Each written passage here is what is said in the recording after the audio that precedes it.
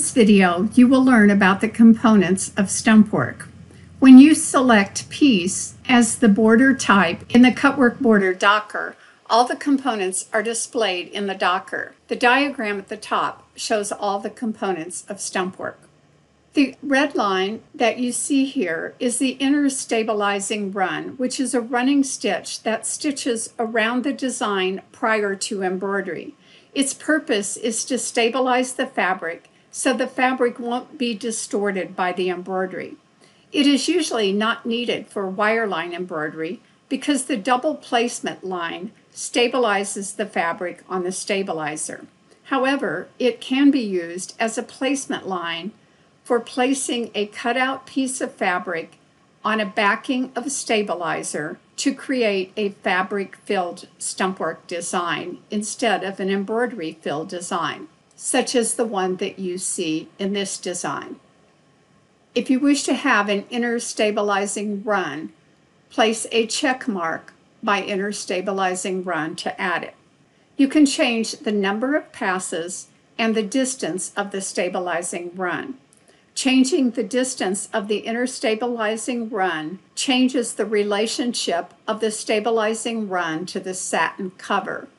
If you rest your cursor in the distance value box, it will show you in the diagram what will change. I'm going to switch to design view so that you can see what happens when you change this value. First, I'll select the design place a check mark by inner stabilizing run.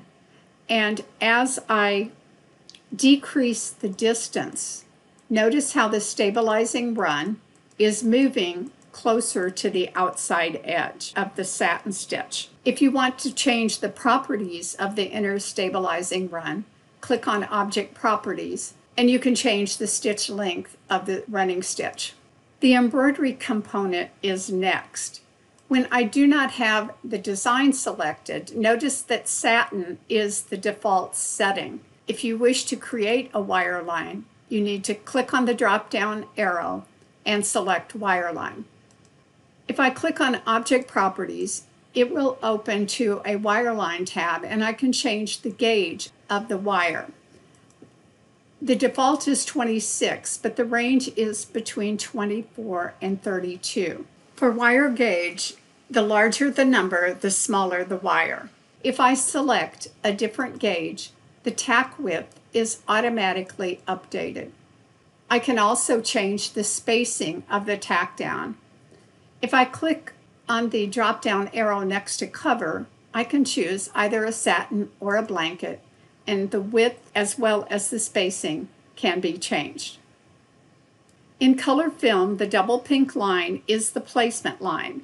The purple line is the tack down, and the green is the cover.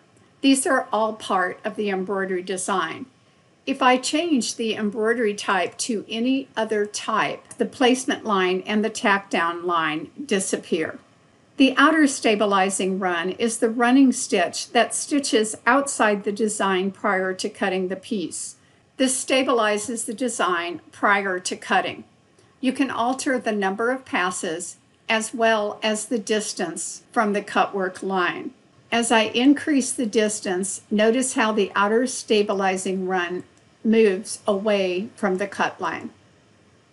You can choose to cut the stumpwork piece using the cutwork tool or a pair of scissors. Using the cutwork tool is selected by default. Just uncheck Use Cutwork Tool to use a pair of scissors.